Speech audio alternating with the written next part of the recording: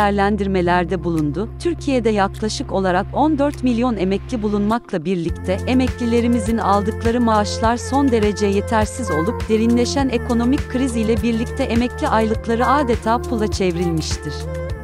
Türk İş tarafından Şubat 2023 sonu itibariyle açıklanan açık sınırı 9425 TL, yoksulluk sınırı ise 30700 TL'dir.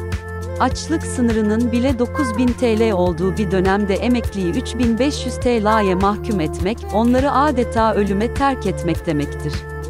Emekliler kiralarını, faturalarını ödeyememekte, yeterli beslenememektedir, en temel ihtiyaçlarını bile karşılayamaz haldedir enflasyonun %180'lerin üzerinde seyrettiğini ve temel gıda, zorunlu ihtiyaçlardaki fiyat artışlarının her gün yükselmeye devam ettiği bu süreçte emeklilerimizi insanca yaşamak istemektedirler.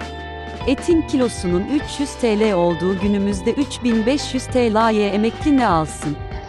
Kira mı ödesin, para faturalara mı gitsin?